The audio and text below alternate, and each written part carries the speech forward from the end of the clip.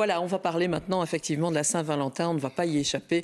Quand on tape, je vous le disais, ce mot dans le moteur de recherche Google, eh bien, on voit que les demandes d'adresses de traiteurs explosent. C'est vrai que partager un bon repas fait partie de la fête, mais visiblement, les amoureux ont envie de manger à la maison.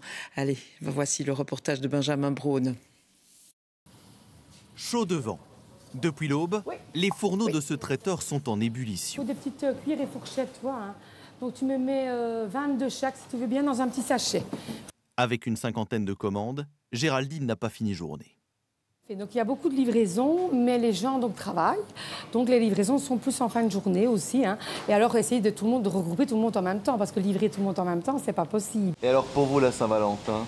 Alors pour moi, la ce soir? Ce soir aussi, mais fatigué. Menu trois services, plus amuse-bouche pour un budget de 45 euros. Produits de premier choix, saumon, Saint-Jacques et un dessert transpercé par la flèche rose de Cupidon. Petit tiramisu au spéculoos.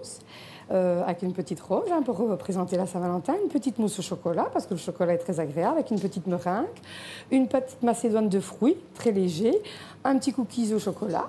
14 février, les traiteurs ont la cote auprès de clients qui préfèrent l'intimité douillette du cocon familial au service guindé du resto. Surtout pour la Saint-Valentin, bien sûr. Petite ambiance tamisée, petit feu ouvert, enfin la totale quoi. On aime bien être ensemble pour pouvoir se parler gentiment, tranquillement et se rappeler les bons souvenirs et faire de nouveaux projets. Voilà.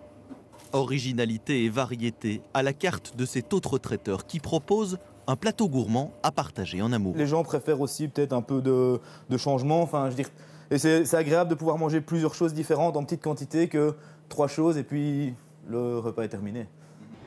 En préférant le service traiteur, les couples évitent ainsi de reprendre le volant.